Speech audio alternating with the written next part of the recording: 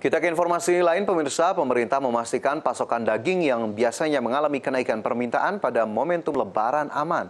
Untuk memenuhi kebutuhan masyarakat, pemerintah menyalurkan daging kerbau impor melalui pasar tradisional dan juga retail-retail modern.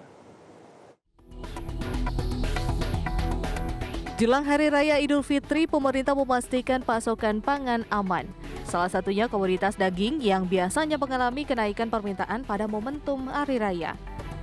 Kepala Badan Pangan Nasional Arief Prasetyo Adi memastikan masuknya daging kerbau impor membuat masyarakat dapat memperoleh daging yang relatif murah untuk menopang kebutuhan menjelang lebaran. Retail modern itu uh, mereka punya inventory management, inventory control. Mereka tahu persis stok di Alfamidi Bangka ini berapa banyak.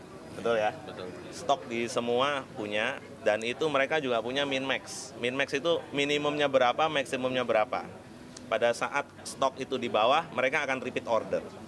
Ya, mereka akan repeat order untuk memenuhi stok. Ya. Direktur Utama Perum Bulog Budi Waseso mengatakan pemerintah menyalurkan daging kerbau impor melalui pasar tradisional dan juga retail-retail modern sehingga menjangkau masyarakat secara lebih luas.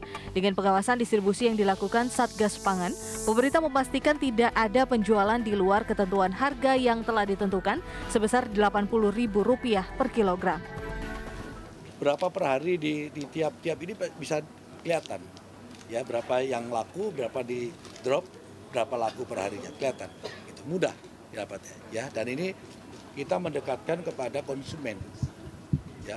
Konsumen mudah mendapatkan dengan harga yang relatif murah karena per kilonya 80 ribu. Karena ini langsung dari bulog diterjun langsung ke sini.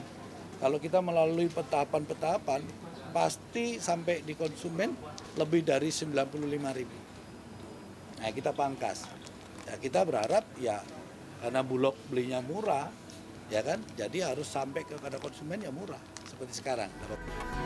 Pemerintah memastikan terus berupaya menjaga stabilitas pasokan dan harga pangan dengan menghitung ketersediaan dan kebutuhan satu tahun ke depan dengan tetap memprioritaskan produksi pangan dari dalam negeri. Jakarta, Tim Liputan, IDX Channel.